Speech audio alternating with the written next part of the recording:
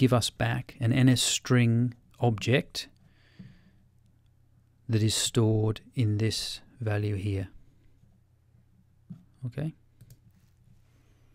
And finally, we have a way of combining the two together.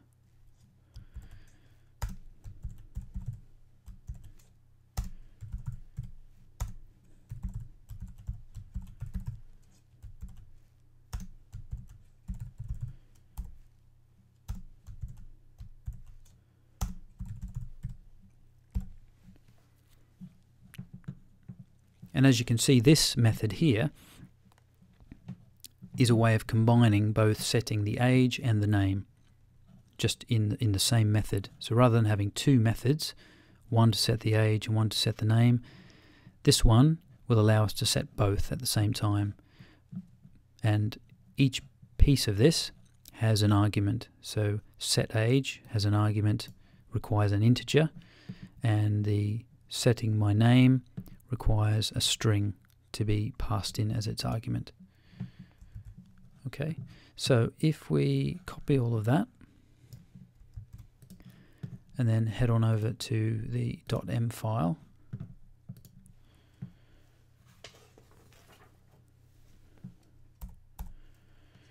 and then paste that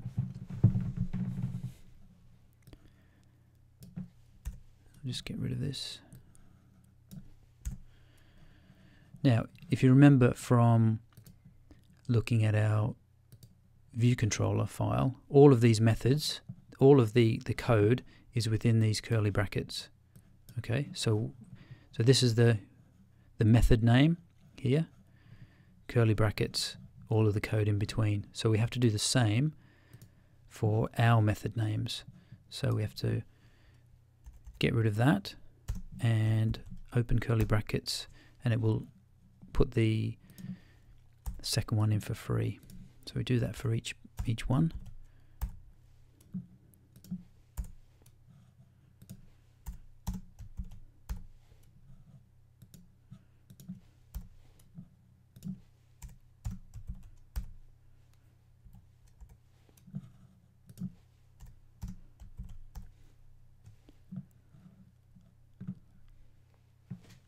Okay. So now in between each of these curly brackets we have to put the code that will carry out our our methods. So for this one, set age, okay, we, our in our interface file here, this is our instance variable, my age. So we have to ultimately put a value into here okay? And the value that gets passed into the method temp gets temporarily stored in this variable here age. So in order to set our instance variable which is called my age we simply tell it that my age the instance variable equals the age that is passed into the method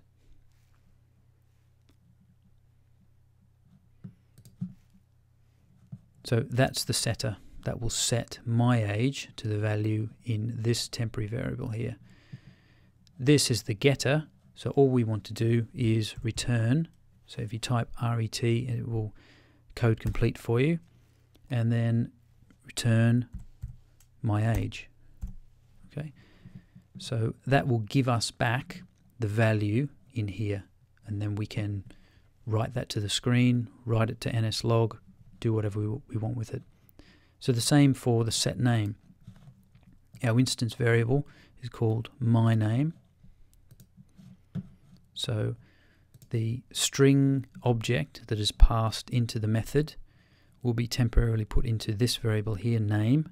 So my name equals name. To get our name, we return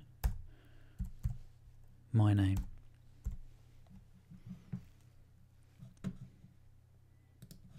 Now for this uh, final one here, we just com combine them. So my age equals, in this case, it will be this one here. So age 2 and my name will equal name 2 which is this one here. Okay, so that's how we can create our own methods to set and get our instance variables. Okay. Now there are more advanced ways of writing this code. Okay. Um, not so much this one, but when we're dealing with objects, so these two here, there are more advanced ways of doing this. Uh, but for now, the important point is is more that you understand what a method is doing and more importantly what a setter is doing and what a getter is doing. So you need to understand those two concepts. a method that sets and a method that gets. Okay, and that's what we've we've done here. Okay, so we've created our class and now we can use our class. So where do we use our class? Well, we can use our class in these other classes. Okay, so in, in this particular view controller, we can then use our class.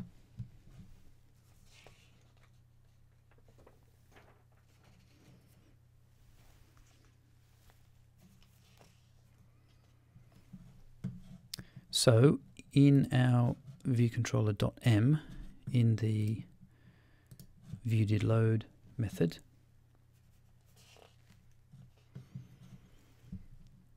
is where we're going to put our code for doing this. Okay.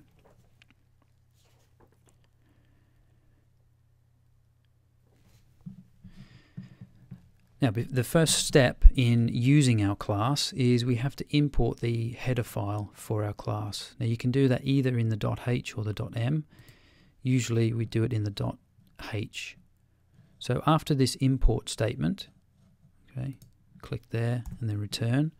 And then we want pound, which is the alt key and 3, import. Okay, and then we type in myclass.h. Okay.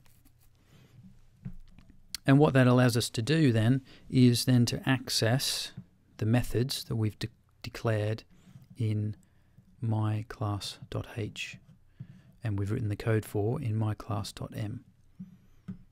Okay, so you have to put this in first. So if we go to our viewDidLoad method here, give ourselves some room. Now in order to use a class, we need to create what's called an instance of a class. Okay, and you can create multiple instances of a class. So in this case, we can type my class, okay, so this one here, star my class instance equals my class alloc init. Okay, so you start with the class name, which is my class, star, give your instance of this class a name, and that name can be anything. This can be anything you want it to be. There are certain symbols that you can't use, so you couldn't type int in here, because int is a, is a special definition, but you, within reason you can call this anything you want, equals double open square brackets, the name of your class, alloc, close that, space init, close the brackets, semicolon. Now what that's doing is, first of all, you're telling the compiler which class you want to create an instance of. Then you're giving it a, a unique name. Then you're saying to my class, I want to allocate some memory space for this particular object. Okay, so it, it allocates it allocates space in the memory of the device for this object. And then finally, we initialize, make it ready for use. Okay, so this is a, a standard way of creating an object, allocating space for it in memory, and then initializing it. And once you've done this, then you can call methods on this instance. Okay. And the way we call a method is we have the the instance of your class, space, and then the method name. Okay. And we've got, um, we have an age and a name that we want to set and we want to get. So if we do set, you can see we've got set age and set name are available to us there. So if we choose set age, now it's expecting an, an integer here. So we could type 30. Close the brackets and semicolon.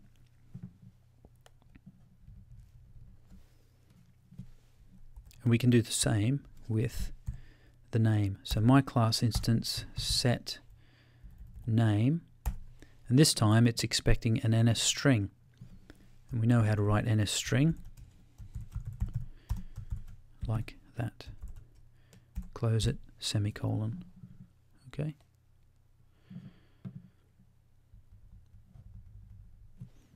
And we can also call our our double setter, if you like, my class instance set my age and my name.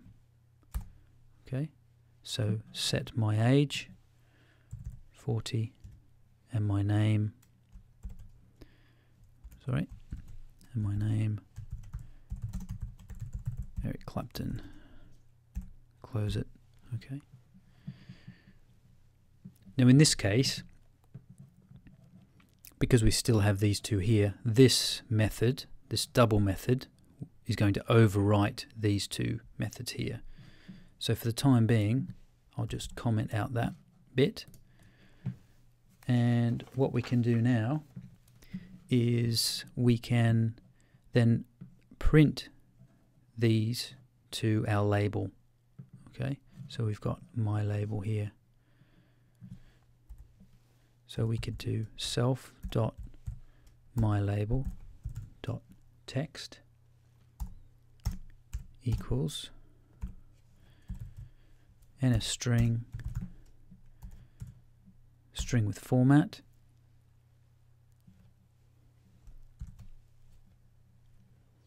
And then we can say my age is and then it's an integer so we know how to do that. Percent i.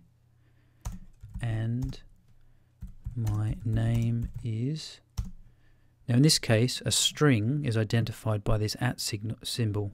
So we can use, rather than percent %i or percent %f, we can use percent %at.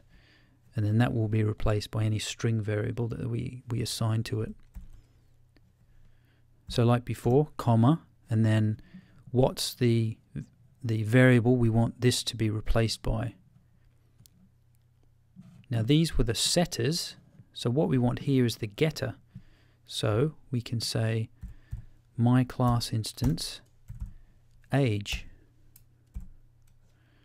comma, my class instance, name. So they're the getter they're the getter methods. So this will return the value that's stored in the uh, instance variable associated with this method and put it here. And this will return the NS string uh, object, the value, the whatever's stored inside the inner string object, uh, and put that here. Now you'll notice here that we've we've got an error, and that's because each of these has a opening and closing. Okay,